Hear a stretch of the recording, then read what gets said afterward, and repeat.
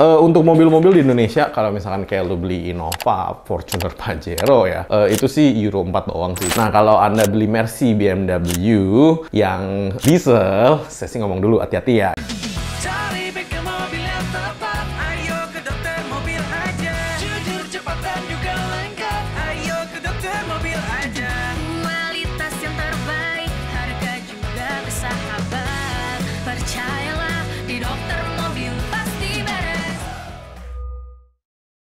Hai lovers, balik lagi bersama saya Lung Dokter Mobil. Di video kali ini saya akan menjelaskan perbedaan standar Euro pada mobil karena banyak yang nanya tuh kemarin tuh. Oke, okay. Uh, Indonesia Euro 2 dan Euro 4 lah ya itu yang paling banyak signifikan diomongin orang dan at the moment Euro 6 atau Euro 6 cuman itu hanya ada di mobil-mobil diesel keluaran uh, Eropa dan keluaran Amerika.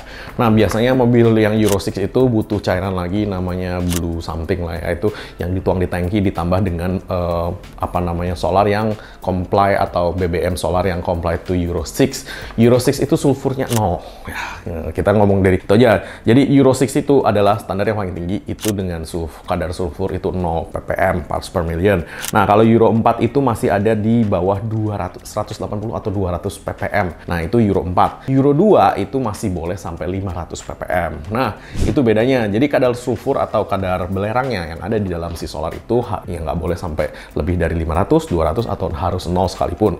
Nah, itu koresponnya nanti ke injektor. Nah, karena kenapa? Konstruksi injektor untuk Euro 2, 4, dan 6 itu berbeda. Euro 2 otomatis injektornya lebih besar-besar karena yang namanya sulfur atau yang namanya belerang itu, dia partikelnya biasanya lebih besar-besar. Sehingga ketika ditekan oleh si injektor, injektor lubangnya harus lebih besar dan lebih kuat untuk neken sulfur yang lebih banyak. Ketika injektornya dikecilin ke Euro 4, itu kan biasanya pasti lebih kecil ya, karena kan si sulfurnya itu kan lebih sedikit juga. Dan kemudian sampai Euro 6, sulfurnya 0. Makanya kenapa banyak mobil-mobil yang Euro 6 ketika diisi DEX pun itu belum bisa masuk nih speknya nih karena Dex sendiri belum comply to Euro 6 nah makanya kenapa nanti biasanya banyak problem di injektornya ketika udah dipakai lebih dari lima tahun ya gitu loh. Karena si injektor itu memang diisi yang sulfurnya lebih banyak ya ibaratnya lubangnya kecil banget lu isi partikel yang lebih besar ketika dihajar sama si injektor pennya itu jarum injektornya itu dia akan pecah. Itu biasanya sih begitu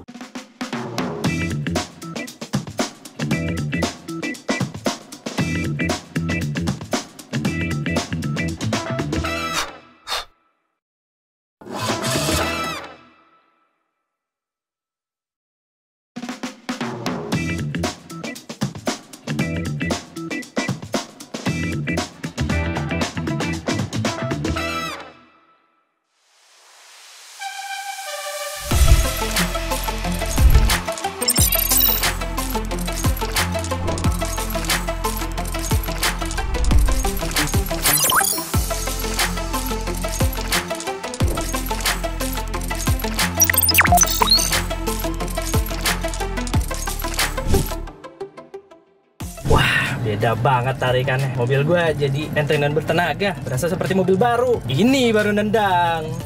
Tune up jet di dokter mobil. Ini baru nendang. Nah, uh, untuk mobil-mobil di Indonesia, kalau misalkan kayak lu beli Innova, Fortuner, Pajero ya, uh, itu sih Euro 4 doang sih. Jadi Euro 4 uh, lu beli Pertamina Dex udah cukup gitu kan. Nah, kalau Anda beli Mercy, BMW yang diesel, saya sih ngomong dulu hati-hati ya, itu Euro 6 lo ya. You need to comply to Euro 6, jadi nggak bisa lu isi Dex sih. Sebenarnya si Dex masih belum masuk ke Euro 6. Jadi berhati-hati kalau Anda membeli mobil secondnya, mobil-mobil Eropa ini yang diesel, karena itu biasanya problemnya paling banyak di injektor. Nah, sebenarnya sebenarnya sih kenapa kok dibikin Euro uh, 2, 4 sama 6 ya? Satu, uh, mereka kan lebih banyak ingin green gas ya maksudnya supaya tidak mempolusi di dunia ini terlalu banyak ya kan karena sulfur itu ketika dibakar itu menjadi beracun. Jadi tidak boleh ada kadar sulfurnya sama sekali di dalam solar gitu dan itu memang berhasil sehingga di uh, Europe itu kalau Anda mau cek hari ini paling banyak mobil adalah diesel karena memang mobil dieselnya itu satu lebih ramah lingkungan, satu dua lebih ngirit juga. Dieselnya itu bisa satu banding 30 sampai satu banding 39 terakhir ya saya tahu ya dan cuman memang catalytic converternya menjadi sangat mahal sekali karena mereka harus comply to Euro 6 gitu loh. Oke, okay, mungkin sekian dulu penjelasan dari saya Long Dokter Mobil. Jangan lupa subscribe, like, dan komen di YouTube-YouTube kami. Thanks.